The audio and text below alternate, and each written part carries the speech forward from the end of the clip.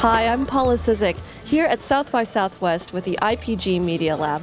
We're talking to Mark Schulze of Clover, and he's going to tell us a little bit about the new products that Clover is bringing to the market. Sure, thank you. Um, so Clover is a point of sale platform. Uh, we have a suite of products that are hitting the market. The first is the, the Clover Station, which has been out for about a year.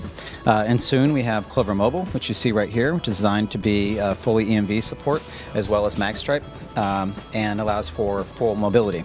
Uh, we also have another product called uh, Clover Mini that's coming soon that will be a either a terminal or a full service point of sale.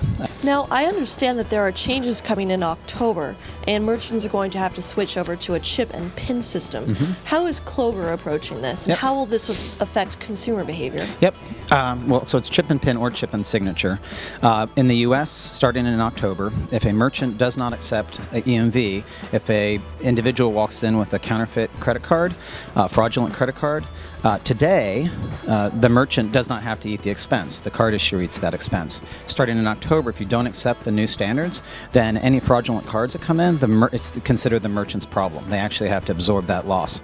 Uh, and it's estimated that there are 17 million terminals in the U.S. that need to be replaced uh, by October 15th of 2015 to avoid this shift. Uh, what, what's interesting about it as well is it will have a real consumer impact. Uh, people today are used to swiping, right? It's really easy. And there have been a lot of interesting innovations over the last five years with e-wallets and and uh, loyalty programs and, and Apple and, and, things like that. And a lot of them haven't gotten a lot of traction. And the reason they haven't gotten a lot of traction is because they're competing with something that is so convenient, the swipe. Starting in 2015, though, when you go to swipe, it'll go, please dip, and that will make people pause and go, oh, maybe I should try Apple Pay. Maybe I should try. Uh, PayPass Tap and Pay. Maybe I should try this uh, e-wallet or loyalty program. So we're already seeing merchants of all sizes really rethink uh, how they handle customers and customer service. It's it's kind of an artifact that people stand behind counters. Uh, I think more and more you'll see people uh, out in front, people uh, greeting people when they come in. I mean, even in a hotel, there's no reason really that you should walk up to a desk. There's really no reason that someone couldn't check you in as soon as your as soon as your car pulls up.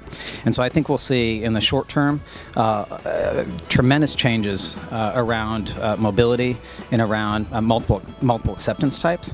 And, and I think in the longer term future, uh, because there are these platforms and like the Clover app market, we'll see some really true innovation uh, that we can't even think of yet. So for more updates, check out ipglab.com.